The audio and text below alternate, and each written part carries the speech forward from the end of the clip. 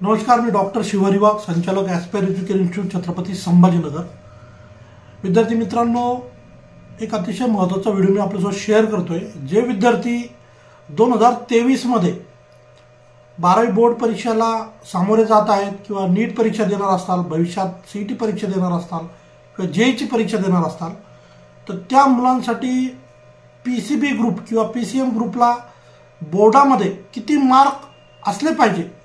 या संदर्भात गेल्या दोन तीन दिवसापासून खूप सारे विद्यार्थ्यांचे पालकांचे मेसेजेस होते फोन होते. कारण आपल्या सगळ्यांना माहिती आहे की इंग्लिशचा एक कॉमन पेपर जो सगळ्यात आर्ट्स कॉमर्स सायन्सचा यापूर्वी झाला होता. आणि आज केमिस्ट्रीचा पेपर आहे. परंतु ज्या मुलांना भविष्यामध्ये मेडिकलला ॲडमिशन घ्यायचं आहे किंवा इंजिनिअरिंगला ॲडमिशन घ्यायचं आहे किंवा फार्मसीला ॲडमिशन घ्यायचं आहे तर त्यांच्या कॅटेगरीमध्ये बारावी बोर्ड परीक्षेमध्ये ग्रुपला किती रिक्वायरमेंट आहे किंवा किती मार्क्स असले पाहिजे या संदर्भात अनेक विद्यार्थ्यांचे प्रश्न होते. म्हणून नीटसाठी किंवा सीई टीसाठी किंवा जेईसाठी साधारण किती मार्क्स तुम्हाला ग्रुपमध्ये असावे लागतात?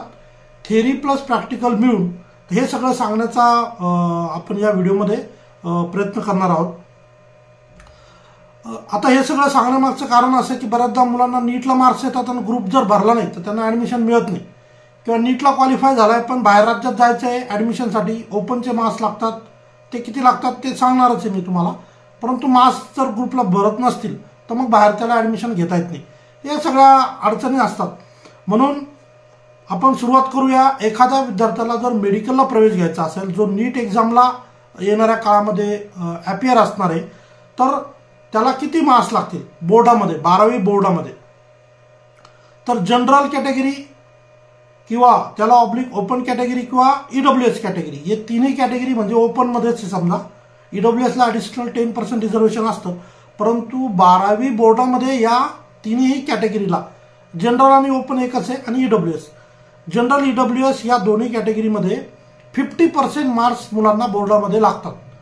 आता फिफ्टी पर्सेंट मार्क्स म्हणजे कुठल्या कुठल्या विषयाचे? फिजिक्स केमिस्ट्री बायोलॉजी तिन्ही विषय मिळून including theory plus practical one hundred and fifty marks लागतात आउट ऑफ थ्री हंड्रेड तर बघा फिजिक्स केमिस्ट्री बायोलॉजीला जवळजवळ तीस तीस मार्काचे इंटरनल प्रॅक्टिकल आहे. सेवन्टी मार्क्सचे थेरी पेपर आहेत. तर थेरी पेपरमध्ये seventy out of twenty five thirty thirty five forty असे जरी मार्क्स मिळाले तर या मुलांचे two hundred and above marks जातात आउट ऑफ थ्री हंड्रेड म्हणजे दीडशेची रिक्वायरमेंट आहे मिनिमम परंतु बोर्डामध्ये या मुलांना थेरीचे आणि प्रॅक्टिकलचे मिळून बऱ्यापैकी मार्क्स येऊ शकतात. परंतु कळत न कळत फक्त कॉम्पिटेटिव्ह एक्झामवर फोकस केल्यामुळं किंवा नीट एक्झाम किंवा जे एक्झाम किंवा सी टी एक्झामवर फोकस केल्यामुळं रायटिंग प्रॅक्टिसची सवय नसल्यामुळं प्रेझेंटेशन स्किलची सवय नसल्यामुळं थेरी पेपरमध्ये मुलांना बोर्डाच्या एक्झाममध्ये फा फारसं स्वतःला परफॉर्म करता येत नाही. पण स्टील इंटरनल मार्क्स जे असतात प्रॅक्टिकलचे आउट ऑफ म्हणजे seventy theory marks thirty internals आणि याशिवाय थेरीमध्ये सुद्धा इनिशियल जो पार्ट असतो की match the following fill in the blanks answer in one sentence हे जे इथं जवळजवळ दहा पंधरा मार्काचे प्रत्येक विषयाला आहेत.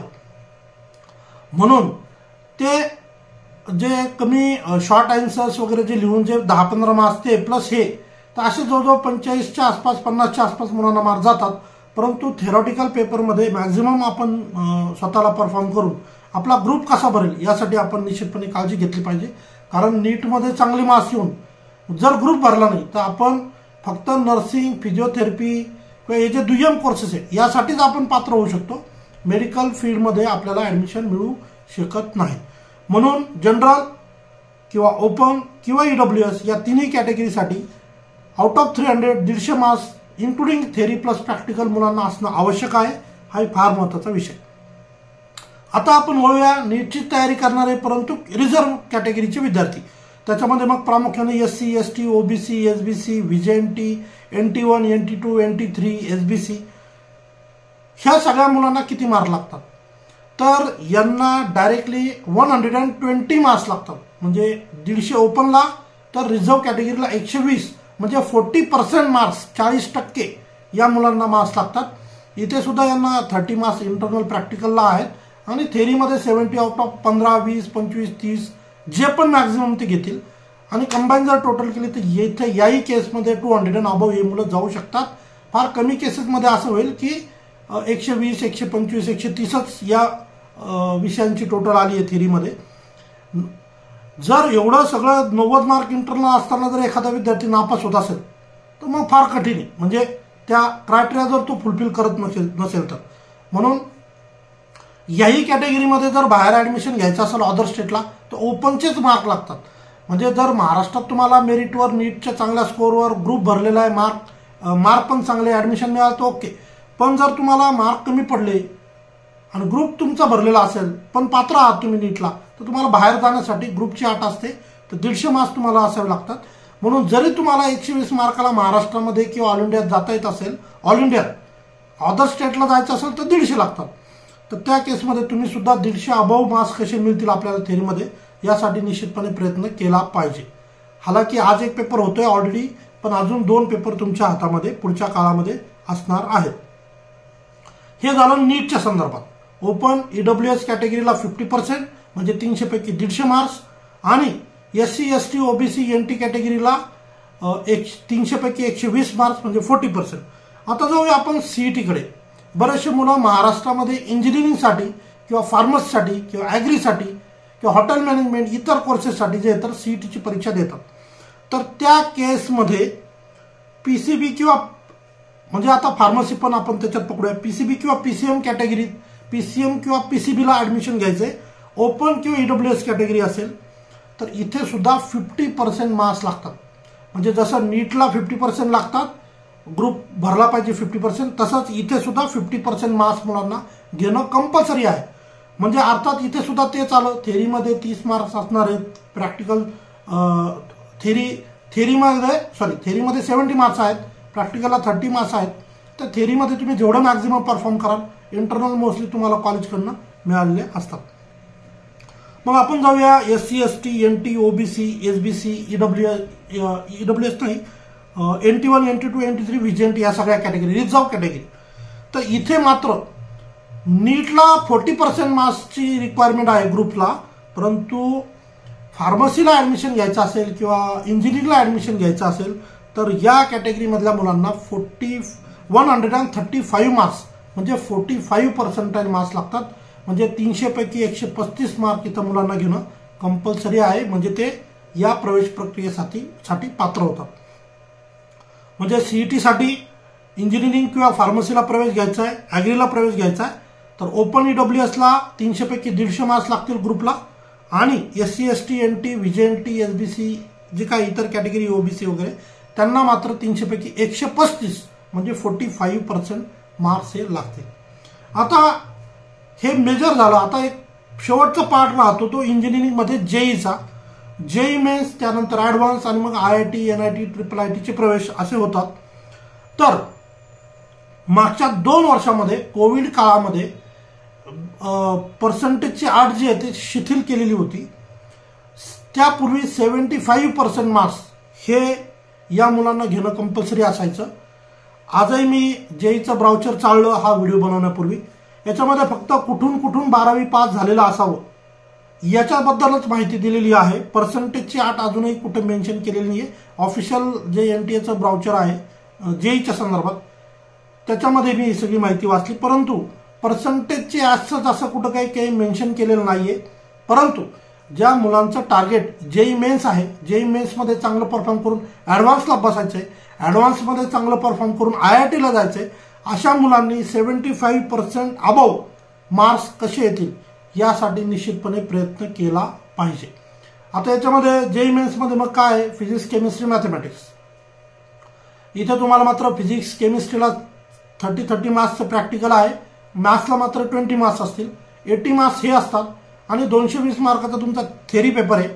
तीनशेपैकी तुम्हाला दोनशे पंचवीस एवढे मार्क्स जे आहेत तुम्हाला नीट परीक्षेमध्ये जे आहे तर सॉरी बोर्ड परीक्षेमध्ये जे आहे तर बारावीच्या घेणं कंपल्सरी आहे. सो जे मेन्सचं ज्यांचं टार्गेट असेल त्यांनी किमान seventy five percent above marks कसे मिळतील त्यासाठी निश्चितपणे प्रयत्न करावा. कारण आज जरी ही क्रायटेरियाची आठ दिलेली नसेल आणि भविष्यात आता यावर्षी काय कोविड नाही काही नाही आणि उद्या जर सेव्हन्टी फाय पर्सेंटची गाईडलाईन आली आत्ताच्या ऑफिशियल नोटिफिकेशनमध्ये खरं तर असायला पाहिजे होती पण नाही आहे जर आली तर त्या केसमध्ये मात्र मग तुमची अडचण होऊ शकते. सो बेस्ट वे तुम्ही तुमचे तिन्ही म्हणजे आता आज केम फिजिक्स किंवा केमिस्ट्री कुठला तरी एक पेपर होतोय. परंतु त्यांना सुद्धा अजून दोन पेपर पुढचे मॅथ्स आणि एक या कॉमनमधला कुठला तरी एक सब्जेक्ट बाकी असेल तो देता येईल. सो जे मेन्स किंवा ॲडव्हान्सचं त्यांचं स्वप्न आहे त्यांनी seventy five percent above marks घेण्यासाठी आपले प्रयत्न ठेवावेत. अगेन तिथे सुद्धा रिझर्वेशनमध्ये एस सी एस टीला सिक्स्टी फाय पर्सेंटची अट असते. परंतु जे मॅक्झिमम आहे त्याच्यासाठी आपण प्रयत्न करावा. त्याच्या आसपास जरी पोहोचलो किंवा क्वालिफाय झालो मार्काच्या बाबतीत बोर्ड पर्सेंटेजच्या बाबतीत तर पुढचे कामं जे येतं आपल्याला ॲडमिशनच्या संदर्भाचे सोपे होतात. म्हणून हा एक अतिशय महत्त्वाचा व्हिडिओ मी आपल्याला शेअर करतोय. अनेक विद्यार्थी पालकांची विचारणं होती कॉल होते की सर खूप ठिकाणी पेपर फार स्ट्रिक्ट केलेले आहेत. भरारी पत्रक येतं तर पेपर घेऊनच जातं. म्हणजे अख्ख्या तीन तास बसून असतं. आणि मुलांची खूप अडचण होती. हालाकी पालक तर त्यांच्या म्हणजे भावना व्यक्त करतात की बाबा मुलांना थोडंसं थेरी थेरीकडे लक्ष तेवढं पा पुरेसं नव्हतं. किंवा वेळ मिळाला नाही. तर अशा कारणामुळे पालकांना वाटतं बाबा थोडंफार पूर्वी जसं चालायचं थोडं यावर्षी पण होईल. विशेषतः विदर्भामध्ये. खूप स्ट्रिक्ट केलेलं आहेत एक्झाम कारण माहीत नाही. आणि त्यामुळं मुलांची खूप अडचण होती. पण अर्थात जी रिक्वायरमेंट आहे ती फार कमी मार्काची आहे. फिफ्टी पर्सेंट ओपनला लागते किंवा एस सी एस टी ओबीसीला फोर्टी पर्सेंट लागतात नीटची तयारी करणाऱ्या मुलांसाठी. किंवा सी ई टीसाठी ओपनला फिफ्टी पर्सेंट आणि एस सी एस टी ओबीसीला फोर्टी फाय पर्सेंट हे मार्क घेणं सहज सोपं आहे. कारण इंटरनलच तुम्हाला सब्जेक्ट वाईज तीस तीस मार्क्स आहेत. त्यामुळं सगळ्या मुलांनी राहिलेल्या पेपरला प्रॉपर तयारी करून किमान मध्ये जो गॅप आहे एक दोन दिवस त्याच्यामध्ये किमान एक दोन पेपर सोडून आपण पेपरला सामोरं जावं. आणि राहिलेले जे काय आपले पेपर आहेत ते व्यवस्थित काळजीपूर्वक द्यावेत. जेणेकरून भविष्यात प्रवेश प्रक्रियेच्या दरम्यान आपल्याला आपला ग्रुप भरला नाही ही अडचण आपल्यासमोर येऊ नये असं होऊ नये आपल्यासोबत. म्हणून हा सगळा उपद्व्याप तुमच्यासाठी मी करतोय. हा व्हिडिओ आपण इतर गरजू मुलांना शेअर करा. सगळ्यांना उर्वरित राहिलेल्या पेपरसाठी मनपूर्वक शुभेच्छा देतो आणि या ठिकाणी थांबतो. धन्यवाद.